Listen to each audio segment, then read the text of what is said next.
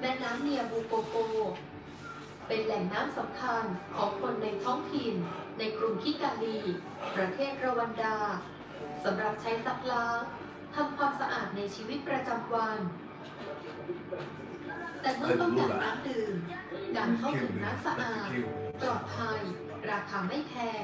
คือปัญหาใหญ่ของชุมชนที่นี่ องค์การยูนิเซฟระบุว่า ไม่ถึงร้อยละ 50 ของประชากรในรวันดา สามารถเข้าถึงน้ำดื่มสะอาดได้ ภายใน 30 นาที จากบ้านของพวกเขา ประชาชนในชุมชนห่างไกล ต้องเข้าคิวกรอกน้ำใส่ถังส่วนตัว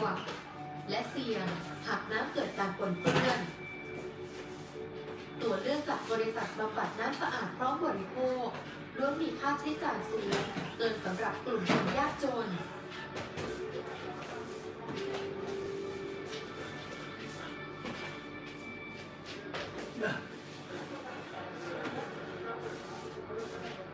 Yeah, actually, it's a, it's, it's, it's a challenge. Yes. Uh,